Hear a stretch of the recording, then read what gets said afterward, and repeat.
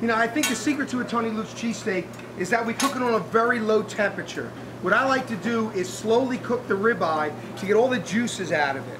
If you cook it on too high of a temperature, you kind of put a crust on it. Now for a thick steak, that's good, but for a thinly sliced ribeye, you want it low and slow is much better. You'll extract all that flavor from it. I'd rather have you wait five minutes for a steak, but get it right and get it really juicy then get it in a minute and then it's, it's overcooked and it's kind of dry. I definitely don't want it dry.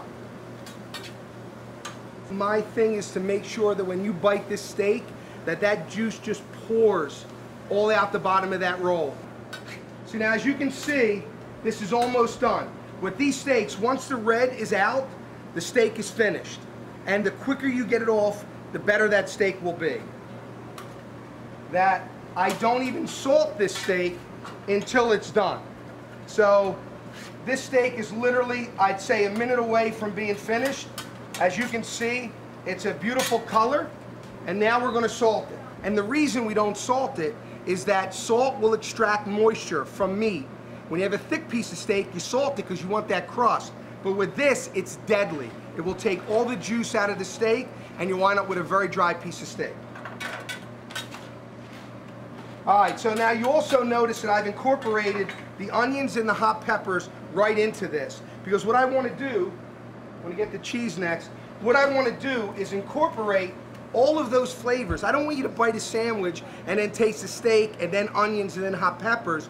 I want to make one, one flavor out of this steak. Now you're going to also notice that I do this as well, which I flip it right on the cheese.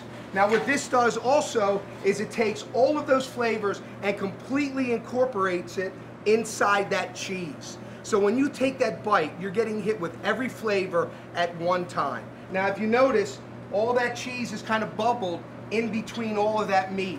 So now we're going to take it off and we lay it on. You see that? Look at that.